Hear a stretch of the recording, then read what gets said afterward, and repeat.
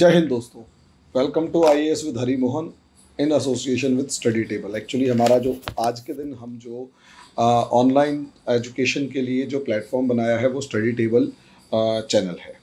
तो उसी से रिलेटेड अब आज हम टॉपिक के ऊपर डिस्कस कर रहे हैं जिसका नाम है बर्बाद होता श्रीलंका और भा, भारत की बढ़ती टेंशन बर्बाद होता श्रीलंका और भारत की बढ़ती टेंशन अब ये मामला क्या है, इसके ऊपर डिस्कशन करें।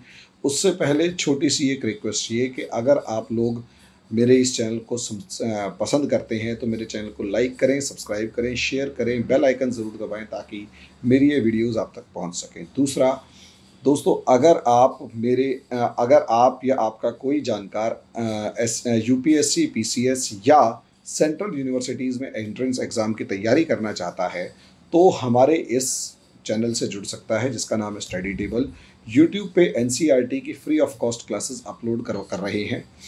उनको चैप्टर वाइज पढ़ाया जा रहा है, उसको आप ज्वाइन कर सकते हैं। इसके साथ ही अगर आप प्रिपरेशन पेड कोर्सेज से करना चाहते हैं तो five hundred rupees per month से आप अपनी यूपीएससी की तैयारी शुरू कर सकते हैं।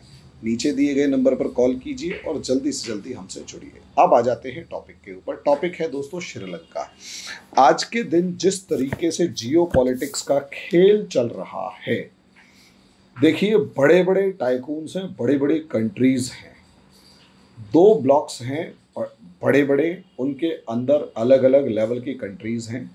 और ये जो दो बड़े ब्लॉक्स हैं, जो पिछले सौ साल से आपस में लड़ रहे हैं जिनके लिए एक चारे के रूप में छोटे छोटे देश काम आते हैं और इन छोटे छोटे देशों के अंदर अलग अलग लेवल की पॉलिटिक्स चलती रहती है। यहाँ पर कोई भी छोटा देश हमेशा इस समस्या से जूझ रहा होता है, जिसका एरिया छोटा है पॉपुलेशन छोटी है नॉर्मली वो और खासकर जो 1950 के बाद आज़ाद हुआ है।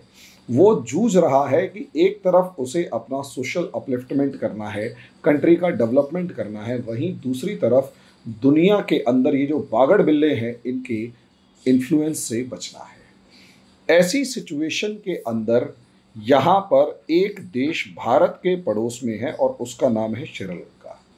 वैसे तो कई देश हैं, लेकिन अगर यहाँ देखेंगे तो श्रीलंका एक ऐसी स्ट्रेटेजिक लोकेशन पर है जो इंडिया, इंडियन ओशियन के अंदर अपना जो इन्फ्लुएंस मानता है, इंडियन ओशियन के अंदर अपना इन्फ्लुएंस मानता है, वो असलियत में अगर यहाँ श्रीलंका को अपने साथ लेके ना चले और श्रीलंका इंडिया की राइवलरी ग्रुप के अंदर शामिल हो जाए तो समझ लीजिए भारत के पसीने छूटते हुए देर नहीं लगेगी भारत की टेंशन्स बढ़ते हुए देर नहीं लगेगी और भारत को बहुत ज़्यादा सोच समझ के फिर सिचुएशंस को आगे बढ़ाना पड़ेगा। मैं इस चीज़ को इसलिए कह रहा हूँ क्योंकि स्ट्रेटेजिक लोकेशन है और ऐसे में यहाँ श्रीलंका इस टाइम पर एक बहुत बड़ी टेंशन से गुज़र रहा है। बहुत बड़ी प्रॉब्लम या सिचुएशन से गुज़र रहा है। सिचुएशन इस हद तक है कि अगर पेट्रोल देखा जाए तो पेट्रोल तो लगभग भूल ही जाइए, इंपोर्ट करना ही बंद कर दिया गया है। वहीं पेट्रोल सप्लाई की, पेट्रोल की जो सप्लाई है, वो लगभग लगभग बंद हो चुकी है। दूसरी तरफ़ अगर आप देखेंगे तो 400 ग्राम दूध का पैकेट जो है, वो 790 श्रीलंकन रुपीस का मिल रहा है। अब आप सोच कर देखिए, इसी तरीके से अगर आप देखेंगे, चावल जो हैं वो राइस यानी चावल जो हैं राइस जो है, वो फाइव हंड्रेड रुपीज़ पर के जी मिल रहा है, श्रीलंकन रुपीज़ में। इसी तरीके से अगर आप देखेंगे आलू जो है पोटैटो वो लगभग लगभग इस टाइम पर दो सौ रुपये किलो के आसपास पहुँच चुका है। वहीं अगर और भी दूसरी चीज़ें, जैसे खाद्य महँगाई दर जो है, जो फ़ूड इन्फ्लेशन रेट है, वो 25 परसेंट के आसपास पहुँच चुकी है। यानी श्रीलंका में लगभग लगभग हर चीज़ महँगी हो चुकी है और हालात इस तरीके से बयान हो रहे हैं कि अपोजिशन लीडर अपोजिशन लीडर और इकोनॉमिस्ट जो श्रीलंका के अंदर हैं, हर्षा डी सलवा। उनका कहना ये है कि भाई, इस टाइम पर श्रीलंका जो है, वो दिवालिया होने की तरफ़ बढ़ रहा है। अगर ऐसा ही चलता रहा तो आयात निर्यात, आयात रुक जाएगा। जो बाहर से चीज़ें श्रीलंका मंगा रहा है, वो रुक रहा है, रुक जाएगा। यहाँ तक कि गूगल सिस्टम का भी इस्तेमाल नहीं कर पाएँगे, क्योंकि पैसे तो देंगे, दे नहीं पाएँगे गूगल को, या जो भी उनकी पेड सर्विसेज़ हैं, वो रुक जाएँगी और पूरा कंट्री कोलैप्स कर जाएगा। अब ऐसे सिचुएशन में पूरा कंट्री कोलैप्स कर जाएगा। एक तरफ़ हम उस रीज़न को ढूंढेंगे कि why it is happening why it is happening ये हो क्यों रहा है? समझे? और दूसरी तरफ़ हम उस चीज़ को ढूँढने की कोशिश करेंगे कि असलियत में what is the possible solution what is the possible solution और या what is happening what could be hap what can happen क्या हो सकता है? हम इसमें वर्स्ट केस सिनारियों को समझने की कोशिश करेंगे। पॉसिबल सॉल्यूशन क्या है इसका वो समझने की कोशिश करेंगे और इसमें where India stands. Where India stands. Bharat कहाँ खड़ा है ये बताइए। अब ऐसी सिचुएशन में आप सबसे पहले हम शुरू अगर करें कि रीज़न क्या है। देखो, रीज़न असलियत में यहाँ पर एक तो पॉलिटिकल एस्पिरेशंस ऑफ़ लीडर्स है। अगर आप यहाँ पर देखेंगे तो political aspirations of Sri Lankan leaders और इस श्रीलंकन लीडर्स में राजपक्सा फैमिली सबसे ज़्यादा रिस्पॉन्सिबल है। राजपक्सा फैमिली सबसे ज़्यादा रिस्पॉन्सिबल यहाँ पर दिखाई दे रही है। क्योंकि राजपक्सा फैमिली के जो पॉलिटिकल एस्पिरेशंस हैं, उन्होंने पूरे के पूरे श्रीलंका को डुबो के रख दिया, ये आपको दिखाई देगा। कैसे? 2008 तक तो अगर आप देखते हैं तो 2008 तक एल टी टी ई के साथ संघर्ष चल रहा था। LTTE Liberation Tigers of Tamil Eelam ये जो लिट्टे थे, इनके साथ जब संघर्ष चल रहा था तो इंडिया जो है, उसने लिमिटेड हेल्प की। इंडिया प्रोवाइडेड लिमिटेड हेल्प, लेकिन चाइना ने, चाइना हेल्प ओपनली। यहाँ तक कि विक्ट्री परेड के अंदर दिखाए जाने वाले जो आर्म्स एंड एम्यूनिशन थे, वो पूरे का पूरा चाइना का था। यहाँ पर खुलकर सामने आया। यानी यहाँ वो दौर था जब चाइनीज़ इन्फ्लुएंस इंक्रीज्ड और जैसे ही चाइनीज़ इन्फ्लुएंस बढ़ा, जैसे ही चाइनीज़ इन्फ्लुएंस यहाँ पर बढ़ेगा, उसका सीधा सीधा असर ये था कि असलियत में threat to Indian interests in Indian Ocean interests in Indian Ocean Indian Ocean के अंदर थ्रेट्स बढ़ रही थी। वहीं अगर आप देखें तो इस चाइनीज़ इन्फ्लुएंस को चाइना ने कहीं ना कहीं इकोनॉमिक कंट्रोल की तरफ़ मोड़ा और असलियत में इकोनॉमिक कंट्रोल की तरफ़ मोड़ा। एक तरफ़ political aspiration of Mahinda Rajapaksa था एस्पिरेशंस ऑफ़ महिंद्रा राजपक्सा था, महिंदा राजापक्सा था, कि भाई वो अपने इलाके सदर्न श्रीलंका को डेवलप करवाना चाहता था। श्रीलंका की डेवलपमेंट चाहता था और दूसरी तरफ़ चाइना श्रीलंका के ऊपर एक अलग तरीके का इकोनॉमिक कंट्रोल चाहता था। अब सदर्न श्रीलंका की डेवलपमेंट में सबसे इम्पोर्टेंट पार्ट जो था, वो हम्बन टोटा पोर्ट सब जानते हैं इस चीज़ को, हम्बन टोटा पोर्ट की डेवलपमेंट होगी। यहाँ चाइना खेल कर गया और इसी खेल को श्रीलंका समझ नहीं पाया। अगर आप मोटे तौर पर यहाँ देखेंगे तो इसके अंदर आपको इधर यहाँ ये हम्बन टोटा पोर्ट दिखाई देगा। ये सदर्न पोर्ट हम्बन टोटा है। अगर आप इसे मोटे तौर पर देखें तो श्रीलंका एक छोटा पोर्ट है। समझे? श्रीलंका एक छोटा देश है तो यहाँ जितना भी इस लेवल का ट्रैफ़िक है, वो कोलंबो पोर्ट अपने आप में एब्जॉर्ब कर लेता है। कोलंबो पोर्ट में बहुत सारी बर्थ्स खाली रहती हैं, इतना ज़्यादा ट्रेड डेस्टिनेशन ये कभी रहा ही नहीं। नतीजा उसका ये हुआ कि हम्बन टोटा पोर्ट को डेवलप करवाया और सबसे बड़ी खास बात, लोन लेके डेवलप करवाया। अब असलियत में लोन लेना किसी भी कंट्री के लिए बुरा नहीं होता। लेकिन चाइना ने कहा, लोन लेके आप इसे अगर डेवलप करवा रहे हो तो जिस कंपनी से हम चाहेंगे, उसी कंपनी से आपको ये पोर्ट डेवलप करवाना पड़ेगा। और कंपनी का नाम था चाइना हार्बर।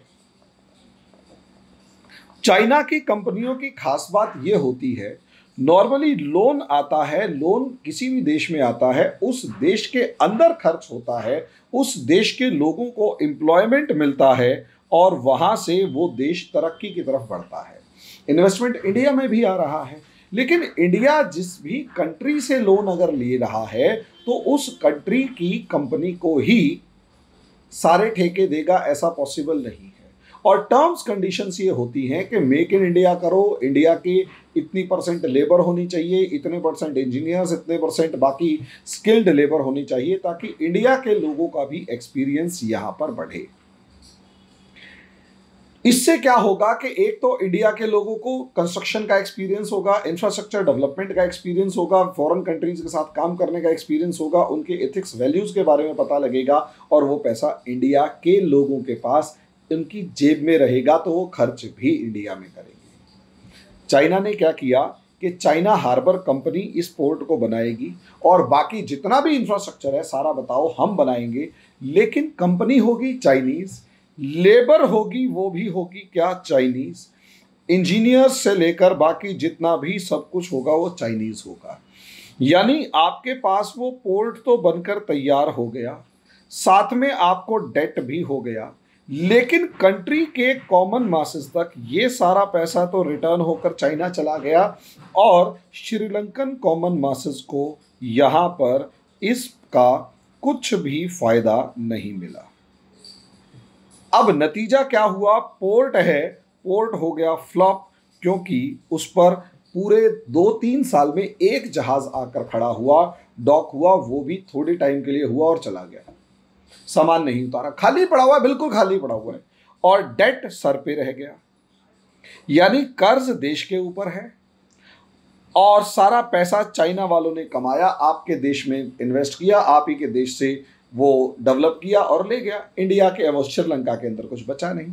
नतीजा ये हुआ, कर्ज बढ़ता चला गया। ऐसा नहीं है अमेरिका कर्ज नहीं देता। अमेरिका कर्ज देता है, उसका ज़्यादातर कर्ज जो होता है, वो एड की फॉर्म में होता है। और ये कहता है, हमारी कंपनी आपके यहाँ आके बिज़नेस करेगी, उसे कंसेशंस दे दो ताकि वो और ज़्यादा बिज़नेस करे। वो कंपनी म्यूचुअल बेनिफिट पे होती है। और अगर आप उस कंट्री कंपनी को कंट्रोल करने में कामयाब हो जाते हो तो आपके देश की तरक्की होती है। इंडिया इसका बेस्ट एग्ज़ाम्पल है। लेकिन, और इसी के साथ आईएमएफ और वर्ल्ड बैंक जो हैं, ये दोनों के दोनों भी अमेरिका के ड्रिवन एक इकोनॉमिक फाइनेंशियल मतलब फाइनेंशियल सिस्टम को चलाते हैं और इकोनॉमिक इंस्टीट्यूशंस हैं। तो ये भी अमेरिका के हिसाब से काम करते हैं। लेकिन चाइना तो पक्का सूदखोर बनिया है। चाइना पक्का सूदखोर बनिया है। ये क्या करता है? ये लोन दे देगा और सबसे बड़ी बात हाई इंटरेस्ट रेट होगा। क्योंकि ये देगा ही उसको जिसको अमेरिका और आईएमएफ ने मना कर दिया। ये देगा ही उसको जिसे आईएमएफ और अमेरिका ने वर्ल्ड बैंक ने मना कर दिया, अमेरिका ने मना कर दिया। और सबसे बड़ी बात two times more than two times rate of interest होगा। यानी अमेरिका आईएमएफ वर्ल्ड बैंक जो भी देगा, उससे डबल होगा और हार्ड एंड हैरिश हैर्श जो है वो टर्म्स एंड कंडीशंस होंगी।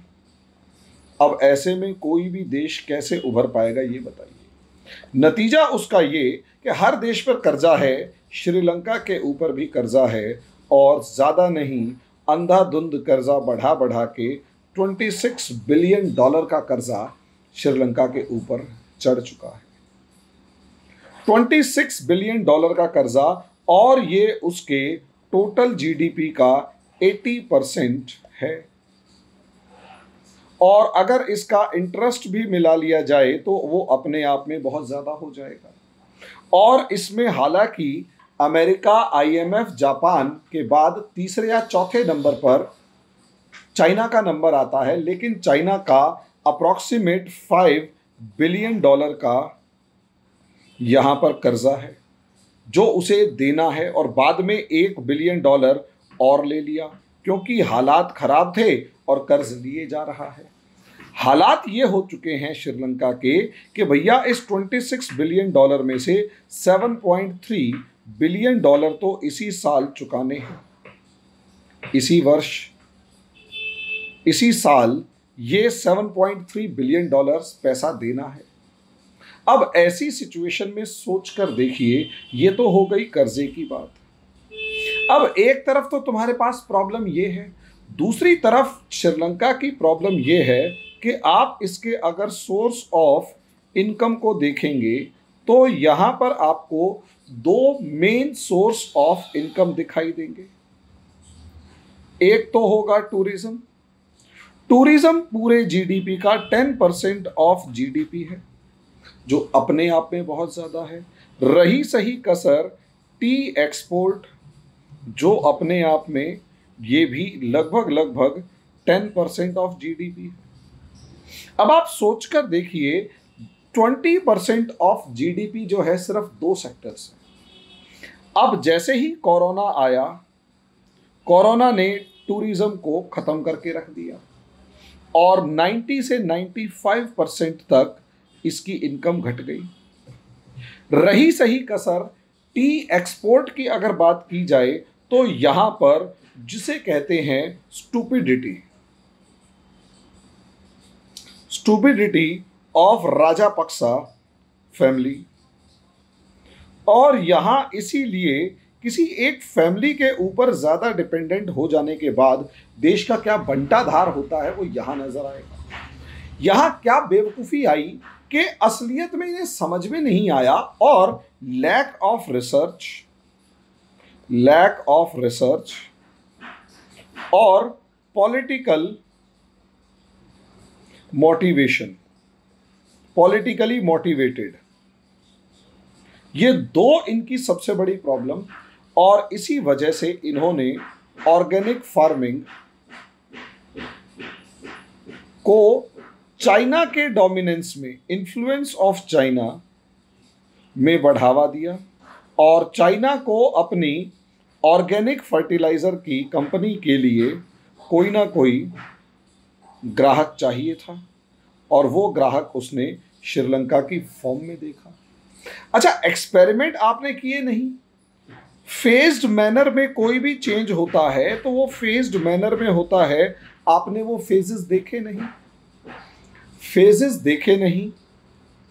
फेजेस के बारे में प्लान नहीं किया। एकदम से आपने जो केमिकल फर्टिलाइजर्स थे वो भर, भर भेजना बंद कर दिया। नतीजा क्या हुआ कि एक तरफ़ तो टी जो प्रोडक्शन था वो एकदम से ड्रास्टिकली ख़त्म हो गया। और वहीं दूसरी तरफ़ आप देखेंगे टूरिज़्म पहले ख़त्म था। यानी पूरी इकोनॉमी जो है, वो ट्वेंटी परसेंट रिड्यूस हो गई। रही सही कसर कोरोना की वजह से अदर बिजनेसेस के ऊपर भी पड़ा। नतीजा क्या कि अच्छा कोरोना की वजह से गवर्नमेंट्स को, लगभग दुनिया की सभी गवर्नमेंट्स को एक तरफ़ तो वेलफेयर स्कीम्स चलानी पड़ी। आज भी कंट्री जो इंडिया जो है उसने भी छः महीने और एक्सटेंड कर दिया फ्री राशन को, कि जो फ्री राशन है वो छः महीने और बढ़ जाएगा, कि अभी छः महीने और आप फ्री राशन ले सकते तो ये वेलफेयर स्कीम्स चलानी पड़ेंगी। दूसरी तरफ़ यहाँ पर कहीं ना कहीं टैक्स रिबेट्स दे दी। एक तरफ़ आपकी इनकम 20 परसेंट रिड्यूस हो चुकी है, दूसरी तरफ़ खर्चा 40 परसेंट के आसपास आपको बढ़ाना पड़ रहा है। ये मजबूरी थी कि बढ़ाएँ, लेकिन इनकम कम करना बेवकूफ़ी थी। ऐसी सिचुएशन के अंदर यहाँ पर एक्स्ट्रा ऑर्डनरी कंडीशंस डेवलप हो गई। एक्स्ट्रा ऑर्डनरी कंडीशंस को हमेशा एक्स्ट्रा ऑर्डनरी लीडरशिप चाहिए। लीडरशिप भी उसी लेवल पर चाहिए होती है। लेकिन यहाँ तो लीडरशिप थी ही नहीं। यहाँ लीडरशिप के नाम पे सिर्फ़ और सिर्फ़ बेवकूफ़ी थी। अब ऐसी सिचुएशन के अंदर यहाँ जो गवर्नमेंट थी, वो कहीं ना कहीं दोबारा से चाइना की तरफ़ जाने लगी है, जो भी हालात खराब होते चले। हालात ये हैं कि कहीं ना कहीं एक तरीके के सोशल क्राइसिस की तरफ़, सॉरी, श्रीलंका जो है, वो इकोनॉमिक क्राइसिस की तरफ़ बढ़ने लगा। और जैसे ही इकोनॉमिक क्राइसिस की तरफ़ बढ़ा, इस इकोनॉमिक क्राइसिस का आउटकम ये था, या इस इकोनॉमिक क्राइसिस का रिज़ल्ट ये था कि जो Sri Lanka started moving towards economic bankruptcy अब बैंक्रप्सी की तरफ़ अगर आप बढ़ाएँगे तो ऑब्वियस सी बात है इकोनॉमिक एंड फाइनेंशियल इमरजेंसी लगानी पड़ गई। और हर चीज़ की राशनिंग करनी शुरू कर दी। अब यहाँ हर चीज़ की राशनिंग करोगे तो यहीं से करप्शन और ज़्यादा बढ़ना शुरू हो जाता है। और जैसे जैसे करप्शन बढ़ता है, सिचुएशन वर्स होती चली जाती है। दूसरी तरफ़ फाइनेंशियल इमरजेंसी के चलते करेंसी जो है, वो अपनी starts losing credibility credit value या मार्केट वैल्यू करेंसी की जो मार्केट वैल्यू है, वो ख़त्म होनी शुरू हो जाती है, जिससे सीधा सीधा असर क्या होगा? Eco ecological economic system collapse करेगा। इकोनॉमिक सिस्टम क्या करेगा? कलेप्स करेगा। और जैसे ही इकोनॉमिक सिस्टम यहाँ पर कलेप्स करेगा, पूरा सिस्टम पूरे तरीके से ढह जाएगा। और यहीं से सिस्टम अगर ढहने के बाद अगर आप देखेंगे, जब इकोनॉमिक सिस्टम कलेप्स करेगा, पूरी की पूरी अर्थव्यवस्था ढह जाएगी तो यहीं से सोशल क्राइसिस शुरू होता है।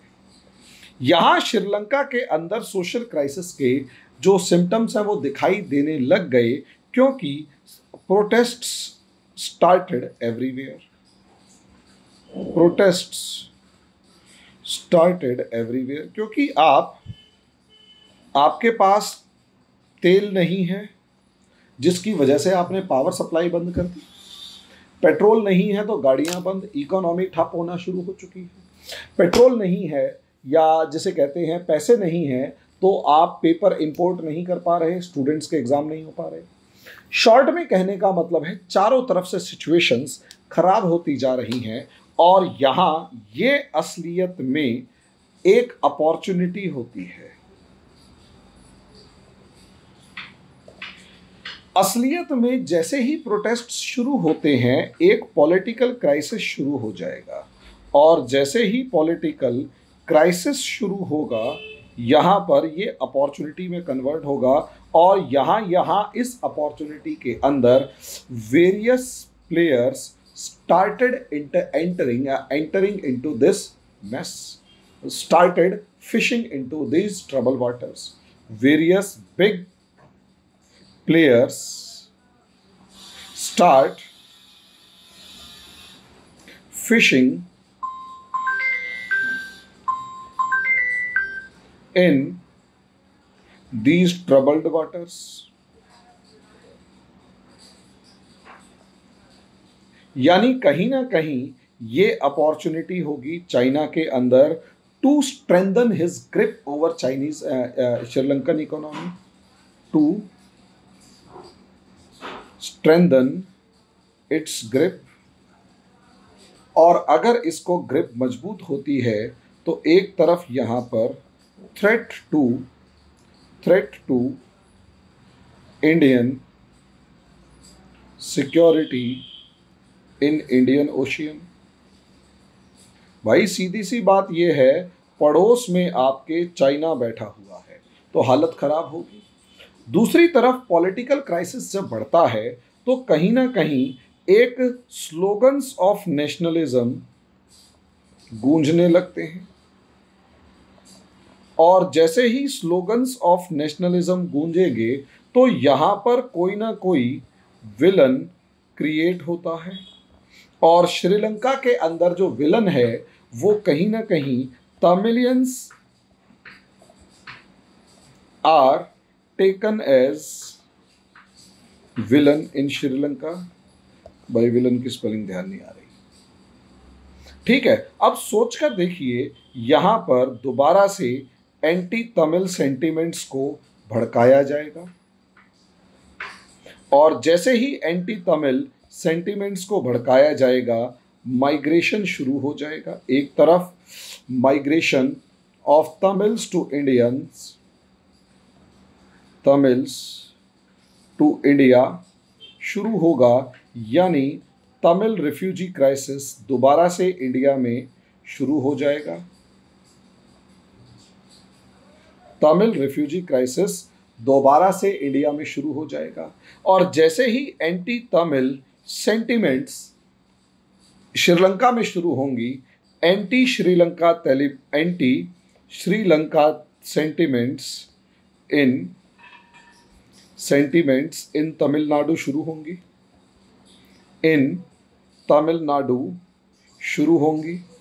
और जैसे ही एंटी श्रीलंका सेंटिमेंट्स तमिलनाडु में शुरू होंगी डोमेस्टिक पॉलिटिक्स का pressure domestic political political pressure create होगा प्रेशर ओवर इंडियन गवर्नमेंट होगा। और इंडियन गवर्नमेंट के ऊपर एक पॉलिटिकल प्रेशर क्रिएट किया जाएगा to create pressure over to create pressure over to create pressure over Sri Lanka to save the mills ये सोचकर देखिए एक स्पाइरलिंग इफ़ेक्ट होगा या डोमिनो इफ़ेक्ट होगा। अब श्रीलंका के अंदर एंटी इंडिया सेंटीमेंट डेवलप होगा एंटी इंडिया सेंटीमेंट डेवलप होगा because Sri Lankans would start taking Indian advice Indian advice as an